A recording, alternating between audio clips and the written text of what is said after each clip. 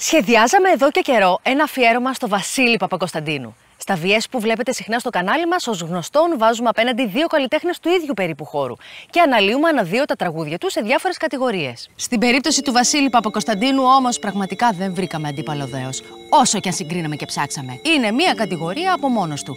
Και ποια τραγούδια να πρωτοδιαλέξεις. Σαν να ψάχνεις ψήλους τάχυρα ένα πράγμα. Κι όμως, στο τέλος ήρθε η λύτρωση. Βρήκαμε τον αντίπαλο, τον πιο ισχυρό και ακατάβλητο. Ο μόνος αντίπαλος του Βασίλη είναι ο χρόνος. Ναι, ο χρόνος. Αναμετρήθηκε με πειρατές, κουρσάρους, ατσάλινα μαχαίρια. Γύρισε όλο τον κόσμο. Αλγέρια, Αλεξάνδρεια, Σαουθ Αφρικα, Πορτο Ρίκο. Έτσι λοιπόν, σε αυτό το επεισόδιο διαλέγουμε τραγουδία του Βασίλη και ο περίπου αλόβητος τα βάζει απέναντι σε μεγάλα μουσικά και μη πράγματα που συνέβησαν τις χρονιές που ηχογραφήθηκαν αυτά τα τραγούδια. Δείτε και θα καταλάβετε. Έχει μεγάλο ενδιαφέρον. Είμαι η Δήμη. Είμαι η Νάτα. Είμαστε οι Book Twins και αρχίζουμε με το ταξίδι στο χρόνο με τον Βασίλη Παπακοσταντίνου. Με μουσική και μικρές όμορφες ιστορίες. Θα σας αποκαλύψουμε το μέρος που βρισκόμαστε, αυτό το μεσαιωνικό πύργο, στο τέλος του βίντεο.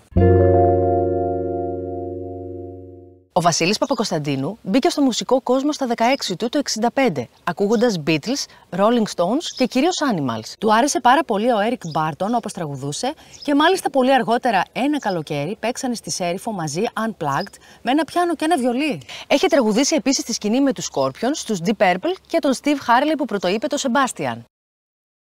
Πρώτη μας στάση το 1982. Εκείνη τη χρονιά, ο Βασίλης Παπακοσταντίνου έβγαλε ένα από τα πιο σημαντικά του άλμπουμ, Το Φοβάμαι. Άλμπουμ που έδωσε μεγάλες επιτυχίες. Στέλλας, ακολουθώ Σεμπάστιαν και άλλα. Αγαπημένο μας κομμάτι είναι ο Κουρσάρος, με καράβι τη μοτοσυκλέτα και παντιέρα το μπουφάν το πλαστικό. Μουσική του Λάκη με τα ψηλά ρεβέρ και στίχη του συγγραφέα Παύλου Μάτεση. Αποτελεί μια ροκ μπαλάντα, σύμβολο των 80's. Τραγούδι ιδιαίτερο που μίλησε για ένα έντονο τότε κοινωνικό θέμα.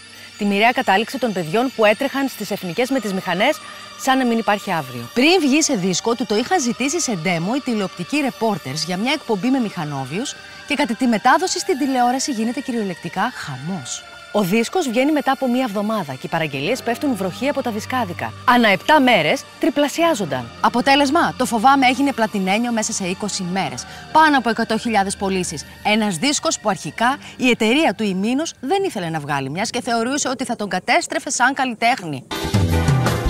Μονάχος χαραμά, χαραμά,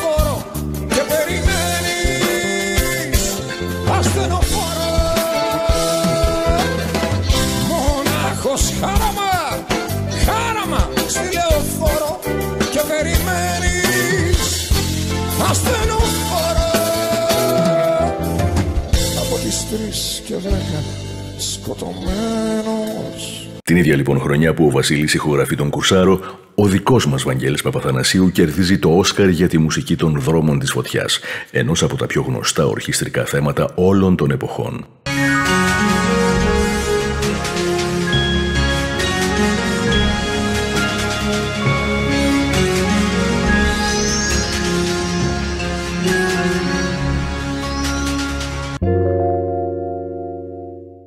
Στις αρχές της δεκαετίας του 70 βρίσκεται στο Μόναχο. Στο εστιατόριο που ήταν σερβιτόρος, έπαιρνε την κιθάρα και τραγουδούσε. Χατζηδάκι, Θοδωράκι, Λοίζο. Τόσο πολύ άρεσε αυτός στους Γερμανούς. Τον άκουγαν και σταματούσαν να τρώνε. Αλλά η κατανάλωση του μαγαζιού έπιανε πάτο. Έτσι πήρε μετάθεση και έγινε μπάρμαν. Αλλά και εκεί τα ίδια, αφού κερνούσε τους πάντες. Η επόμενη μας στάση στο 1984. Ο Βασίλης μπαίνει στο στούντιο και μας χαρίζει άλλο ένα κλασικό δίσκο. Την περίφημη Διέρεση. Άσε με να κάνω λάθος. Το τραγούδι που διαλέγω, στίχη μουσική του Ανδρέα Τσιλιφώνη. Εμβληματικό, δυνατό κομμάτι. Που ο Βασίλης κάπου το αγριεύει, κάπου το γλυκαίνει. Γενικά μας κρατά σε μια εγρήγορση, σε μια ακόμη αξέχαστη ερμηνεία. Στον ίδιο δίσκο υπάρχουν και άλλα κλασικά όπως ο Μαύρος Γάτος, σε στίχους του Θανάση Παπακοσταντίνου, που τότε ήταν στα πρώτα του στοιχουργικά βήματα. Το Δεν Υπάρχω διασκευή από το Revolution Light a Fire του Chris ο οποίος είχε μια μανία με μεσαιωνικά θέματα στα τραγούδια του Είναι η Αλήθεια και το πριν το τέλος και αυτό διασκευή από τραγούδι του Λούτσιο Μπατίστη. Άσε με να κάνω λάθος, μη μου λες πως συντροπή Άσε με να βρω μονάχος, ποιο το τέλος, ποια η αρχή. Άσε με μονάχο μου να νιώσω την ουσία μέσα σε όλα που έχεις πει. Ανατήρηση μου φέρεις, θα τιμώσω και το ξέρεις. Με χάσεις σε τι θα εσύ.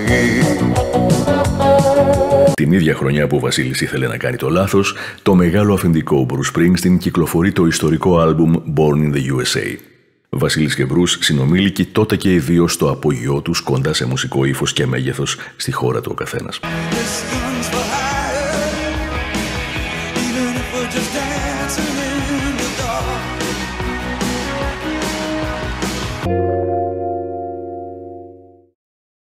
Έκανε φαντάρους στην Τρίπολη τέλη του 60 μαζί με τον Δημήτρη Μητροπάνο.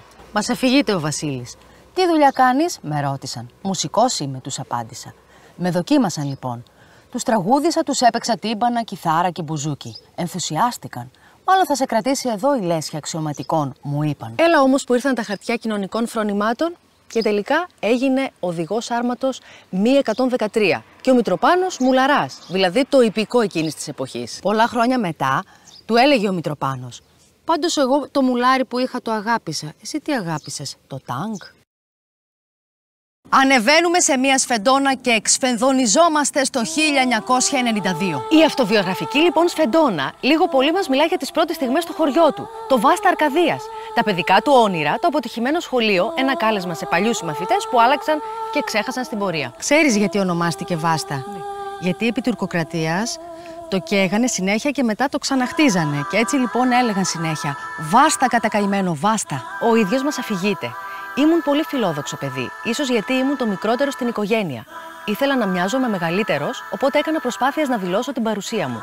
Ανέβαινα ψηλά, πότε σε βέντρα, πότε στα κεραμίδια και τραγουδούσα γιατί φανταζόμουν ότι με άκουγε πολλοί κόσμος. Έτσι για πάντα κράτησα την παιδική μου εικόνα. Εκείνου του αλιτάμπουρα που κράταγε σφεντόνα. Αν ήταν να περιγράψω σε κάποιον με δύο λόγια το Βασίλη, αυτό το τραγούδι θα του έπαιζα. Και όλα τα θυμόμουν κι είχα μυαλό ξουράφι να μεγαλώσω ξέχασα και έμεινα στο ράφι. Έτσι για πάντα κράτησα την παιδική μου εικόνα. Εκείνο το αλυτάμπουρα που κράταγες σφεντόνα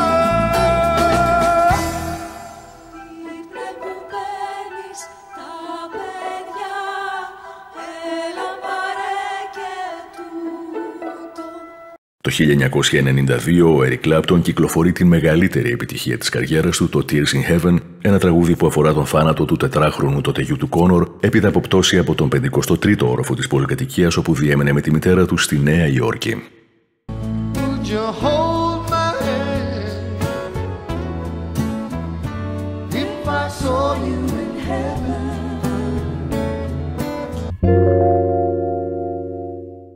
Ίσως σας φανεί παράξενο, αλλά από πολύ μικρός ήθελε να κάνει οικογένεια. Όντας μεγαλωμένος σε μια πολύ δεμένη οικογένεια και πιστεύοντας στο θεσμό. Η οικογένεια είναι ο μικρό κοσμό του και έκανε δεσμούς μακρόχρονους με αντικειμενικό στόχο τη δημιουργία της δικής του. Αυτό συνέβη τελικά πολύ αργότερα στα 46 του, όταν και απέκτησε τη μοναχοκόρη του με την Ελένη Ράντου. Λίγο πίσω τώρα, 1987. Δίσκος χαιρετίσματα. Διηγείται ο ίδιος ο Βασίλης για τον Νικόλα Άσιμο. Συναντάω μια μέρα τον Νικόλα να πουλάει κασέτες με το καρότσι του. Νικόλα, του λέω, θέλω το Βενσερέμος που το ήξερα από την κασέτα του να το βάλω στο νέο δίσκο μου. Γυρίζει παραξενεμένος. Γιατί μόνο αυτό θέλεις; Τελικά, πέντε κομμάτια του Άσιμου μπήκαν στο δίσκο χαιρετίσματα του 1987. Μεταξύ αυτών τα Καταραίω, αγαπάω και διαφορώ και θα έρθω να σε βρω. Την είχε χαρεί πολύ αυτή τη δουλειά ο Άσιμο. Τότε υπήρχε μόνο η κρατική ραδιοφωνία. Μου τηλεφωνούσε λοιπόν συχνά και μου έλεγε: Θα τους βάλω μπόμπα στην ΕΡΤ. Δεν παίζουν τα τραγούδια μου. Εγώ όμως από το δίσκο αυτό θα διαλέξω κάτι άλλο. Ίσως την πιο τρυφερή ερωτική του μπαλάντα το πάρεμε σε μουσική δική του και στίχους της Αφροδίτης Μάνου. Κι ύστερα ξάπλωσε κοντά μου και κοιμήσου Εγώ θα πιάσω μια γονίτσα στο κρεβάτι όχι πως έχω το κλειδί του παραδείσου. Μας σ' αγαπώ. Κι αυτό νομίζω είναι κάτι. Πάρε με, πάρε με μέσα σου να κρυφτώ. Σαν να μην έζησα πριν από το βράδυ αυτό Την ίδια χρονιά οι YouTube κυκλοφορούν το ιστορικό άλμπουμ The Joshua Tree. Πούλησε πάνω από 14 εκατομμύρια παγκοσμίως μόνο το 1987 και κέρδισε τον Grammy για το άλμπουμ της χρονιάς. Δεν ξεχνάμε επίσης ότι η Ελλάδα κατακτά το Eurobasket με τον Γκάλι, το Γιαννάκη και τα άλλα τα παιδιά.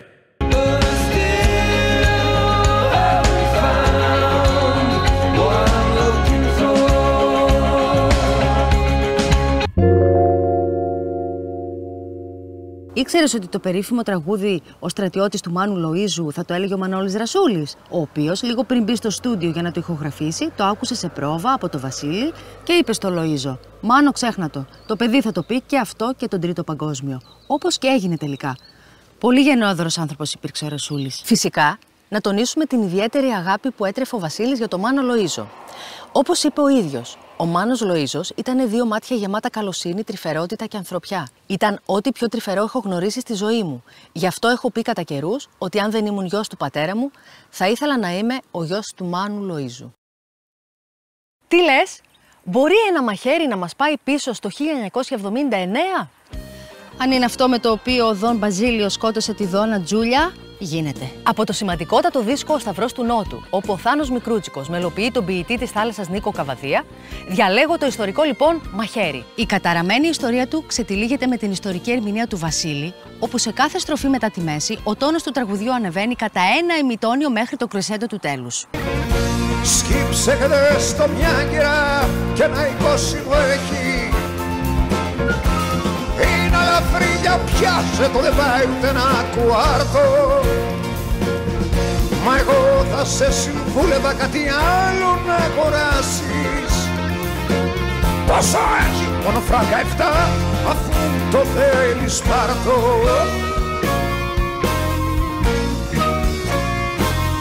Και ενώ το μαχαίρι είμαι σίγουρη ότι κάπου συνεχίζει να υπάρχει πάνω στο μάταιο του το κόσμο, το 1979 συνέβησαν και άλλα μαγικά πράγματα.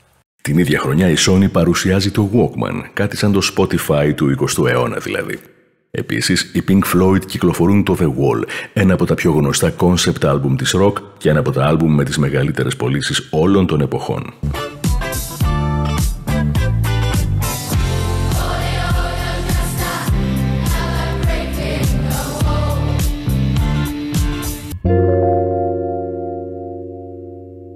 Και έτσι τρυφερά επιστρέφουμε στην εποχή μας το 2022 με ένα τραγούδι έκπληξη.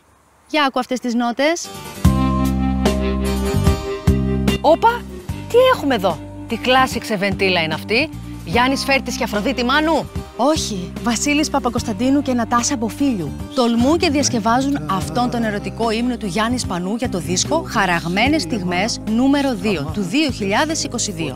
Ο ταξιδιώτης του χρόνου Βασίλης είναι λοιπόν παρόν και εδώ, με μια τρυφερή συγκλονιστική ερμηνεία. Δεν περίμενες να το ακούσεις από αυτόν, ε; Κι αν είναι ροκ μην τον φοβάσαι. Ο Βασίλης αυτό το δίσκο, εκτός από το «Σαν με κοιτάς» που πρωτακούσαμε το 1971 στην ταινία «Εκείνο το καλοκαίρι» με Έλενα Ναθαναήλ και Λάκη Κομνηνό, διασκευάζει αγαπημένα του τραγούδια και άλλων καλλιτεχνών. Μη μου μιλάς, νιώσες στα στήθη μου τους χτύπους της καρδιάς μες στην παλάμη μου το ρίγους της νυχτιάς να μ' αγαπάς, να μ' αγαπάς, να μ' αγαπάς Μετά από όλα αυτά, πιστεύεις πραγματικά ότι φτάνει μόνο ένα επεισόδιο για τον τεράστιο Βασίλη Παπακοσταντίνου; Όχι βέβαια, θέλω να πούμε κι άλλα. Υπομονή όμως, γιατί θα υπάρξει και δεύτερο μέρος. Βρισκόμαστε στο μετόχι της Αγίας Αναστασίας, το μοναδικό σωζόμενο τμήμα του μεσαιωνικού οικισμού των Κριστιανών.